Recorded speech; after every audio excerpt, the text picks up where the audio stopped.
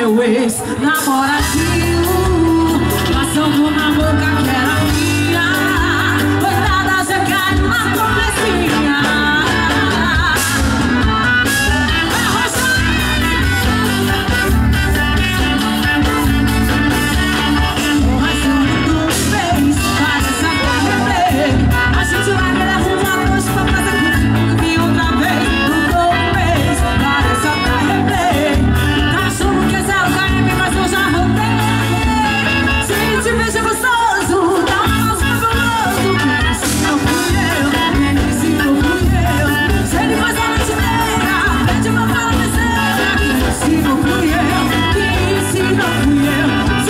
beijo gostoso, um abraço gostoso.